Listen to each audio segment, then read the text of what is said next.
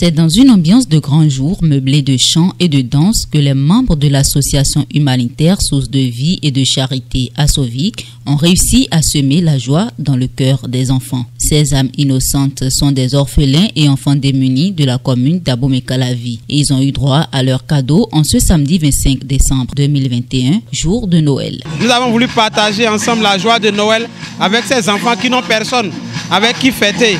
Donc nous avons voulu ensemble remettre la joie dans le cœur de ces enfants-là. Nous avons quand même atteint un peu nos objectifs. Ce que nous avons souhaité, c'était la joie dans le cœur de ces enfants. Et comme vous le constatez, les enfants ont la joie au, cœur, la joie dans les visages. Donc on rend grâce à Dieu. On peut dire que nos objectifs sont atteints.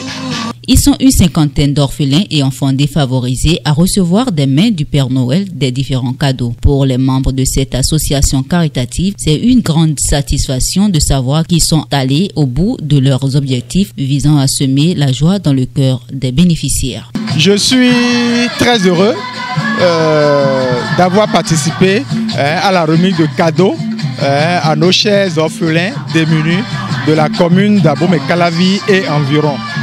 Euh, c'est un événement que nous organisons chaque année hein, pour permettre à nos chers enfants de se sentir aussi, en fait, de se sentir aussi comme les autres enfants qui ont leur papa, leur maman en vie.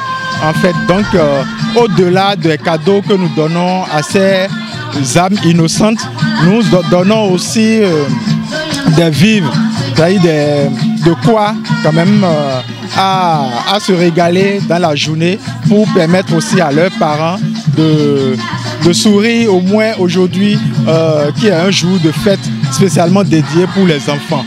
Cette initiative de la SOVI, qui est à sa deuxième édition selon le président de l'organe de régulation, depuis sa création a été possible grâce aux cotisations généreuses de ses membres. Il a profité de l'occasion pour faire appel aux personnes de bonne volonté à se joindre à eux afin que cette noble mission soit pérennisée. A pensé aux enfants orphelins, démunis.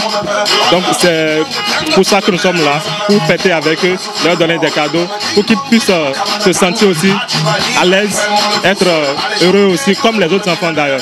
Évidemment, des appels à lancer, c'est par rapport à nos autorités, qui puissent euh, nous venir en aide. Puisque ce que nous faisons, c'est le social.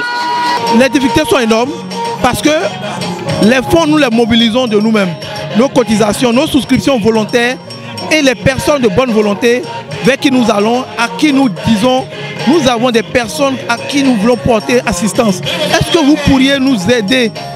Que ce soit 1000 francs, 500, 2000, nous acceptons tout.